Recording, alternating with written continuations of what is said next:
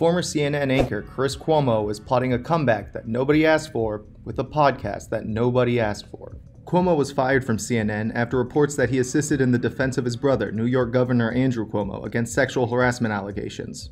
The allegations eventually led to his brother's resignation. Cuomo himself was also the subject of workplace sexual misconduct allegations.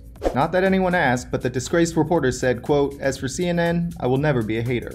The project titled The Chris Cuomo Project launched today. According to the podcast's official YouTube page, the Cuomo Project is an interview podcast and will feature Cuomo's quote, signature takes on today's pressing current events. To make matters worse, the debut episode features an interview with Sean Penn. Cuomo plans to release these abominations on the unwilling public twice a week. We're so very, very sorry.